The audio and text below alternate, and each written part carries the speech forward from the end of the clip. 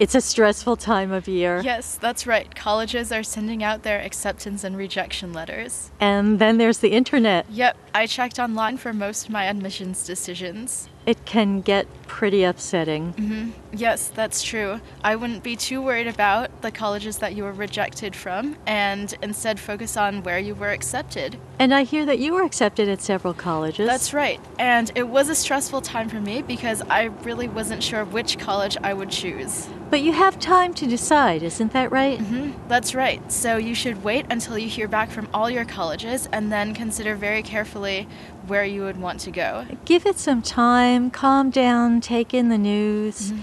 give yourself a chance to get used to where you won't be going, Yes, definitely. and to carefully consider all over again where you might like to go. Mm-hmm. Now that you know what your options are, Yep, don't hurry too much.